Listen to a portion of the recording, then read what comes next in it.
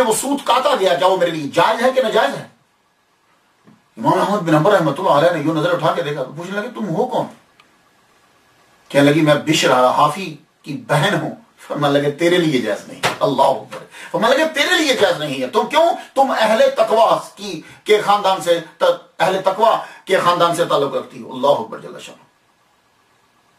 तुम अहले तकवा के खानदान से ताल्लुक रखती हो। ये हैं बिशर हाफी रहमत दस मुहर्रम को आपका विशाल मुबारक हुआ। दो सौ सत्ताईस हिजरी में रुखसत हुए। सतहत्तर साल की जो है वो आपने उम्र पाई।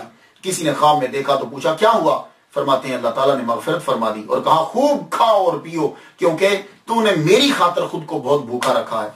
और आपका एक पॉलिसी मेकर जुमला है, जिसे टाइटल जुमला कहता हूँ मैं। वो जुमला आपका ये है, पानी जब तक रवा है, पाक है, जब रुक जाता है, गंदा हो जाता है। तो पानी को रवा रहना चाहिए। इसकी बहुत सी तशरियात हो सकती हैं, लेकिन एक ही है कि तुम्हारे पास जो चीज़ है, वो चलती रहे। वो आगे बढ़ती रहे तो फ़ायदा देती रहती है।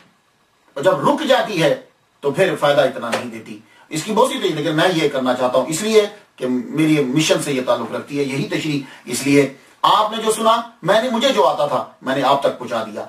आप जो सुनो, ये आगे तक पहुंचाओ। इसको आगे जो जो ये चीज़ चलती जाएगी, इल्म आगे चलेगा, बताते जाएँगे तो बढ़ता जाएगा। इजाज़त दीजिए वाह